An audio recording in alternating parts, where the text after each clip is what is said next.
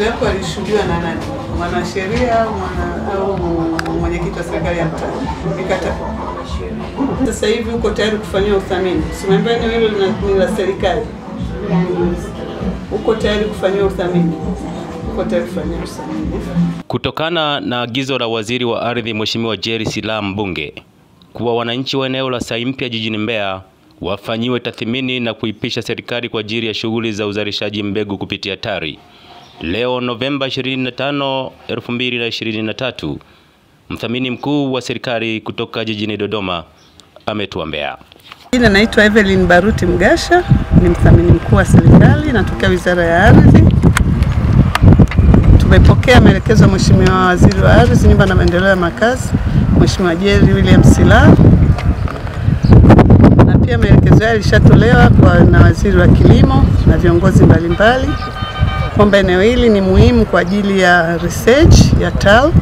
Kwa hiyo sisi kwa nafasi yetu tumeelekezwa tufanye uthamini Tumefika, tunashukuru wananchi.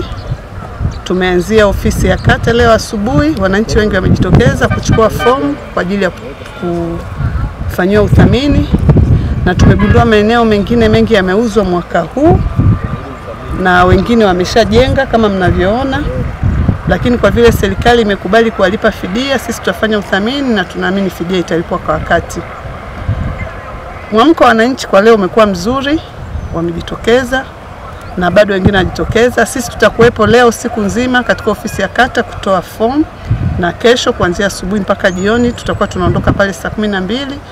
Jumatatu asubuhi saa tatu tutakuwa site.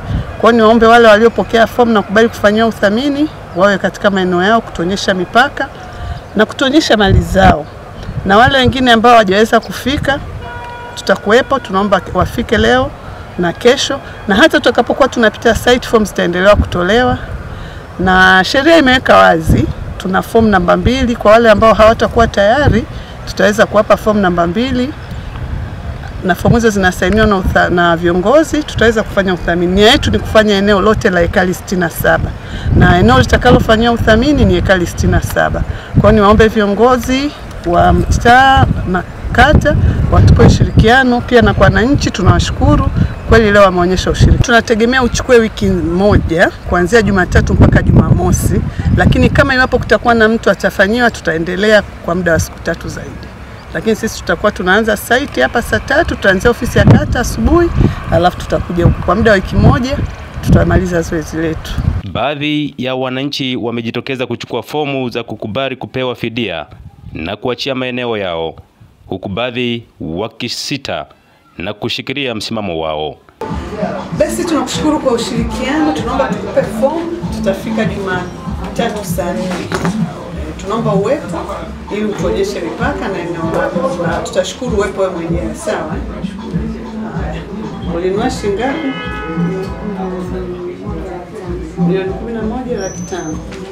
Wakati unanunua ukujua ili eneo lina mgogoro, ukujua Walisema umeisha. umeisha, umeshajenga, Ume- umeweka nini hapo? Umeweka biko. Ikumbukwe kuwa Eneo hili ni lenye mzozo wa muda mrefu kati ya wananchi na Wizara ya Kilimo. Gordon Karurunga, Nyikani Leo, Mbeya.